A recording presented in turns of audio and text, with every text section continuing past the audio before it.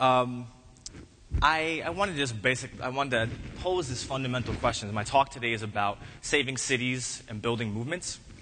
So I wanted to pose this fundamental question. So what do we need to save cities from, and what do we need movements for? Well, missing a word there. Sorry, guys. Um, and I guess the, the first, to answer the first question is, we need to save cities because we're at a fundamental sort of crossroads right now in the way in our political economy that has made it clear that the, that the consequences of the situation that we're in or the gravity of the situation we're in can't be ignored anymore. Um, and we have to build new institutions to kind of deal with those challenges in an integrated way. What do we need movements for? We need movements because we're, at the, we're standing on the precipice of some of the greatest moments in, our, in the history of our, of, our re, of our recent history sorry, in our country. The greatest economic downturn this country's seen in 70 years, the greatest income inequality this nation's seen probably in its history, and uh, let's see, what was the third thing I was going to say? um, the, and finally, sort of the, not from the, from the bottom to the top, but from the top to the bottom. So, whoa, the other way around. From the bottom to the top, actually, has created this sort of great need for movements to be sort of built. And what we're seeing in the current context of this Occupy Wall Street phenomenon is that there are actors who are outside of the system who want to get back in. And that's also sort of fueled in with the, uh, some recent Supreme Court decisions that put wealth at the center of how setting public policy. So where's my clicker? Click. Oops, no. Yeah. Sorry, that was wrong. Uh, so just by way of quick introduction, PUSH is an organization, a grassroots community organization that's trying to, that attempts to do community organizing as well as as well as grassroots, uh, small scale, affordable housing development. And in 2007, we brought some folks together to build what was our, our first real neighborhood platform that addressed housing, the environment, economic development, and education uh, at the, at our, from our neighborhood perspective.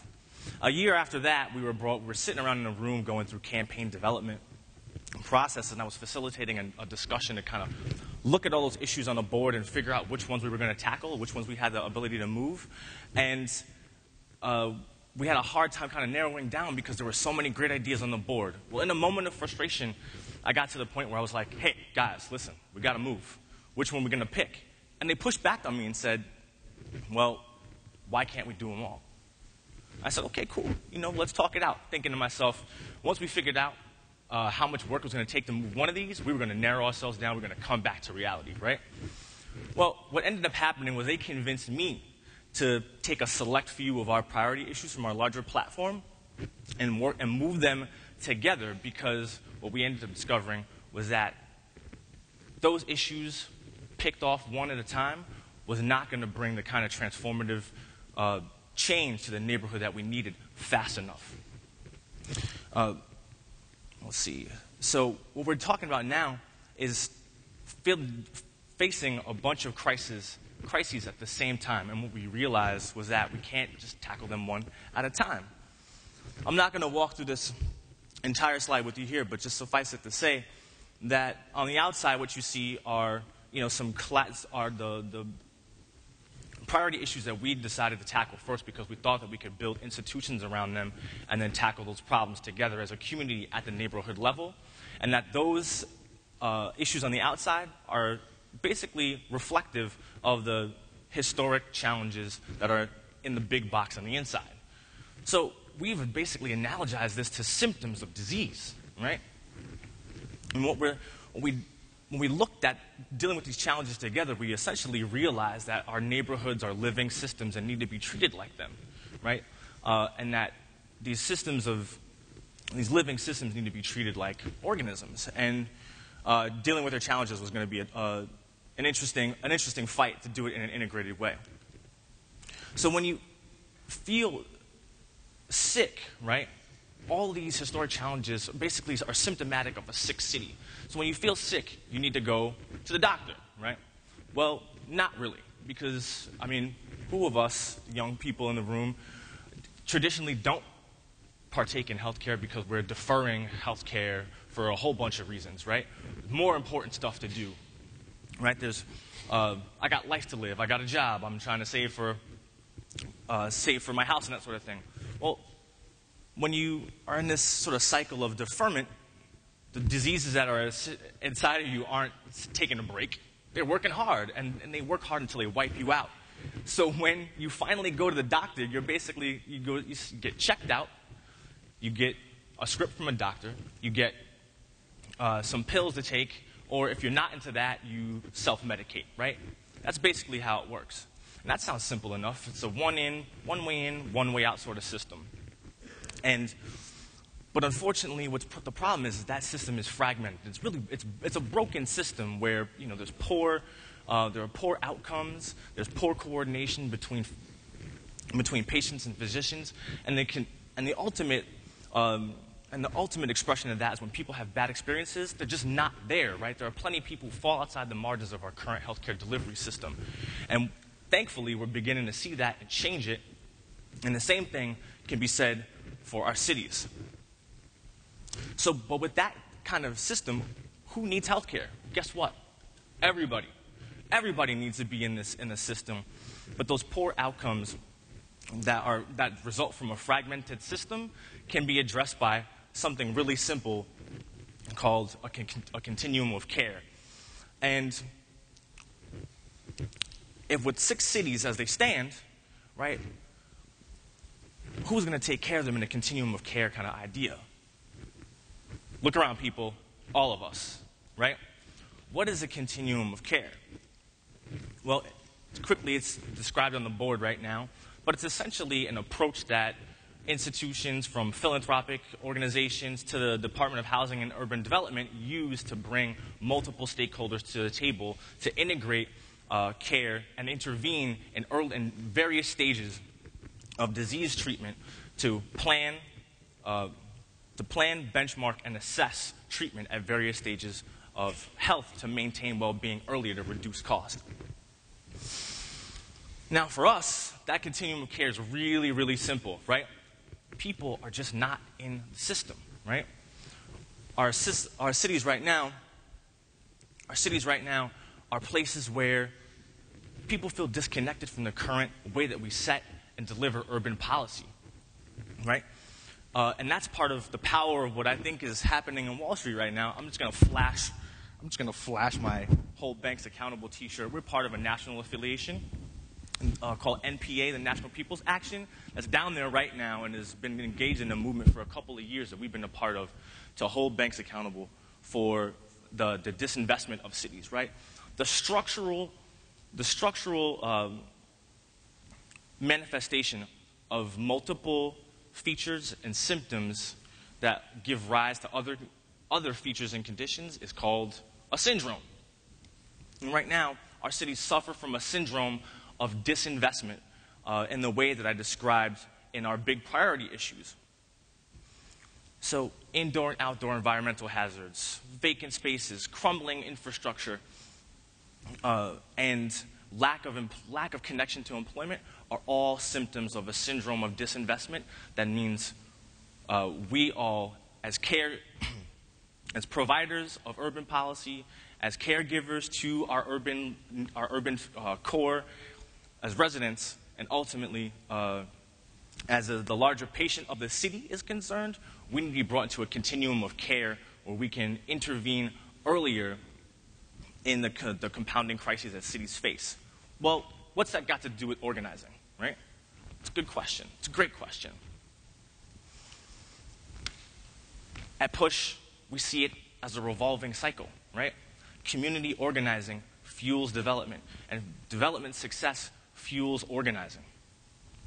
We start out from the, from the basic premise that if we identify people who are excited about, uh, who are excited about social change in their neighborhood and can run winning campaigns, we're going to bring more resources into our neighborhood to do the kind of development that we, uh, we're hoping will address the challenges, our big ticket challenges in our neighborhood, and ultimately do that in a democratic way where residents are setting the table for our development work and evaluating it along our core values. and this is what it looks like. our, you know, when we put this, the broader part of our platform together, this is what it looks like. Where in the center, it's a revolving wheel of our values. In the middle there, with the arrows kind of pointing out, our strategies and approaches that we're thinking about using. And ultimately, that yellow ring is what we get when we act in a coordinated way in a continuum of care philosophy where we hold banks accountable, for example, for the lack of, inve- for the lack of investment and the wealth extraction they've done over the years from our neighborhoods, where we're partnering with other groups like the Massachusetts Avenue Project to provide uh, healthy food to folks and rebuild those pieces of the public infrastructure that connect people to their own personal health and well being.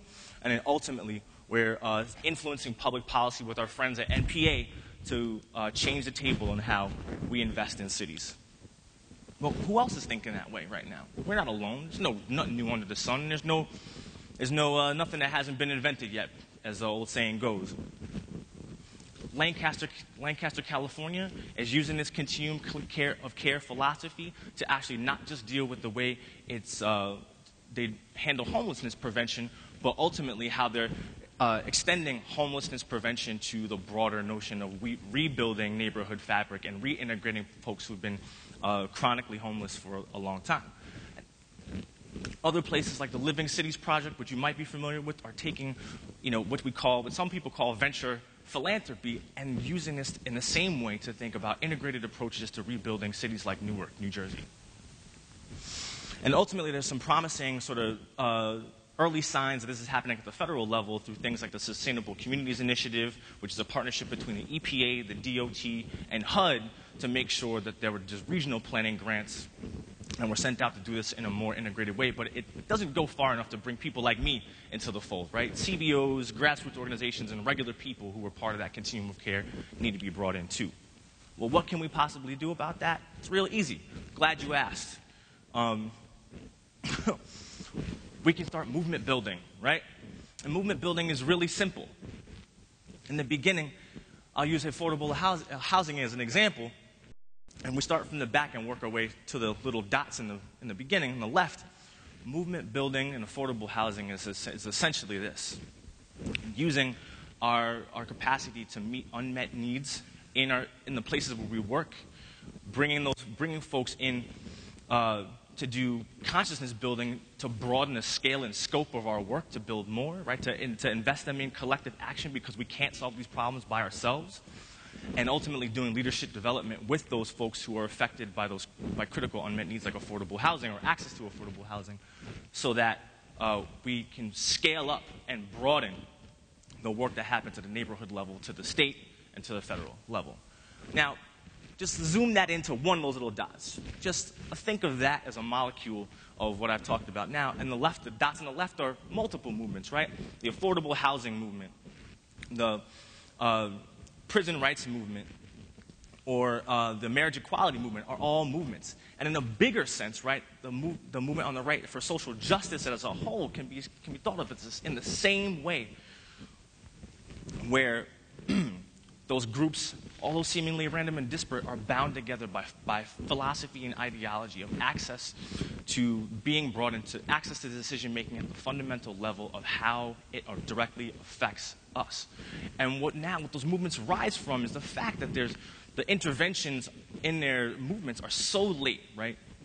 Affordable housing is so uh, disconnected and broken right now that we've got, you know, the, the uh, movement, multiple movements to, the, to save public housing, uh, to save housing vouchers, et cetera, et cetera. Um, so when we're talking about binding those movements together in a more cohesive way, their message has to turn into structured demands, and their protest has to turn into deeper forms of resistance that uh, crack open the, the, the the, the closeness, the closeness of the system so that we can ultimately have more democratic solutions. And that's what I think is really powerful about what's happening on Wall Street right now. And what's beginning to happen across the country is that movement spreads because we're recognizing, right? We're recognizing the deep connectivity of those multiple movements at the local level and at the national level. So, what do we get? What do we want? What do we do? And what do we get? Well, first, we have to recognize that there's a syndrome going on, right? We're to recognize that the multiple the symptoms of what we're facing in cities isn't just a one off here or a one off problem here, but they're part of a, of a condition that needs to be uh, dealt with in a more integrated and systematic way. We need to bring movements together, right? And the way that I described a little, just, a, just a second ago, and what's in the way that's happening now, we need to bring movements together so that we can begin to share practice and that we can recognize and fundamentally affirm that people know what they need where they live, that those people are policymakers, and that ultimately they deserve seats at the decision making table. So that policy begins, begins to set the table for new forms of governance structures and ultimately projects that we can act on the ground on the ground here, but also demonstrate and scale up at the broader national level. And if we do that, we get holistic approaches holistic approaches to dealing with the problems of cities, dealing with the problems of, of, of, specialized populations who are on the margins right now, who opt out of what we broadly call civic engagement or what we call, you know, being involved in our cities because they just don't feel in. And it ultimately gives us the opportunity to, give, to derive innovative solutions to this problem through a continuum of care where multiple actors are in together and they're planning, again, planning, benchmarking, and assessing their performance in the way we treat the syndromes and conditions of cities. And that gives us, oh, at the, at the end of it, a national framework. So I'm going to call for, I'm calling for this idea right now of, of designation areas where sick cities, like Buffalo, like Detroit, like St. Louis, and many others across this country uh, work with the federal government to, to recognize the syndromes that they're facing and deal with them holistically, bring new actors into the situation, deepen and broaden in the, de- in the democratic, in the fundamentally democratic way that we believe in as a country to change our delivery system of, of, urban policy. Because when we reintegrate marginalized actors into, that, in, into the decision making, we reweave the fabric uh, of city building, and that changes the perceptions, the functionality, and the reality of our cities. So I want you to join me in that call and that battle of big ideas because it's really easy. I just did it.